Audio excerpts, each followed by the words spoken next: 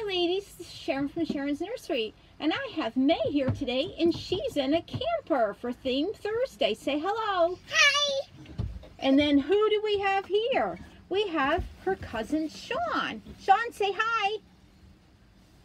Sean is camping. We have a table here and we have, of course, we have Grandpa. Right, Mae? Can I get down? Yes, you can get down. And Shawnee is standing up at the table.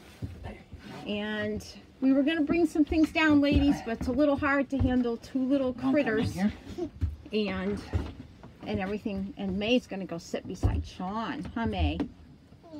And who is Shawnee? My cousin.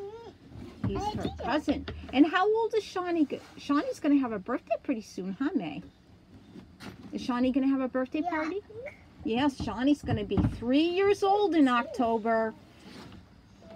So here's our little camper, and there's a bed and a sink. It's kind of messy in here, but um. So Mae, do you want to say goodbye to the ladies? Goodbye. See you later, ladies. Shawnee and Mae in a camper.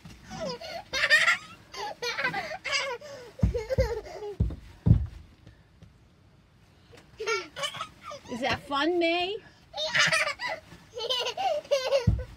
Ooh, you just banged it with your head. I don't think there's going to be much sleeping in this camper. Do you, Grandpa? Not today. So Mae, what about some songs or something? Oh, Shawnee's having a good time. yeah, it's long. Okay, take a nap, guys. Night night, Mae. Mae's sleeping in the camper. Shawnee, are you gonna go night night? Go night night. Lay down with Mae. Watch your feet. Okay, ladies, I'm gonna let you go again.